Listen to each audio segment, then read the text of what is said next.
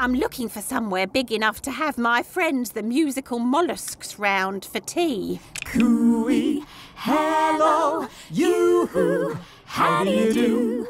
Wow. I see why you need a bigger house. Maybe we could help you. Lee's family is moving house today too. Oh my days! You must be so excited.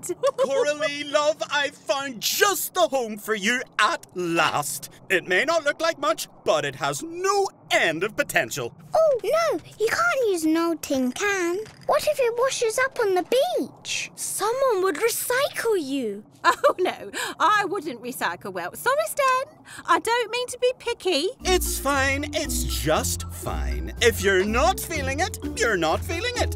You'll know your new home when you see it. Hey, how about this empty shell? I think I've just seen it.